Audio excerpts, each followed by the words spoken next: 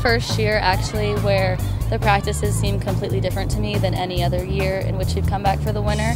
They're really fast paced, they're really efficient, everyone's working their best to get done what we need to get done. Focus on basic skills and then forcing them to have to communicate and really think under pressure. Our biggest thing right now is to get down the little things, the catching, the throwing that kind of hurt us last season. So we're going to focus on in-game passing and you know little stick work, which will really translate over to the game, which I think is really, has been really helpful for everybody.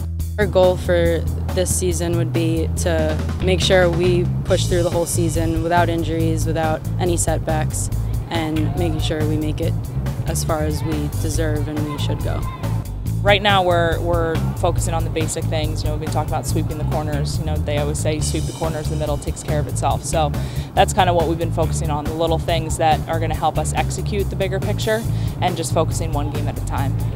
I cannot wait to get to play in High Point. Even the fact that we're in there, like the sound system, the, the scoreboards and everything, it's just really, it's a big adrenaline rush and I think it'll be great for our team to get that experience as you walk into the Rutgers football stadium, which is such a legendary stadium, it's going to be amazing to be playing on that turf, and it's going to give us the energy that we need to spark the season from the beginning to the end.